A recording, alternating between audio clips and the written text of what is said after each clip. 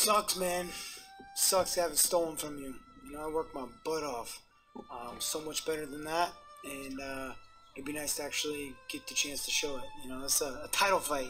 It's a champ versus champ fight, and you're gonna stop the fight like that? I'm in on a single leg. He says, "Hey, show me something." I said, "I'm okay." I'm on a single leg in a scramble. He stops punching. He's defending a single leg, and you're gonna stop the fight? Uh, it's just ridiculous, man. I, I, it's it's pretty pathetic that I have better knowledge than that ref.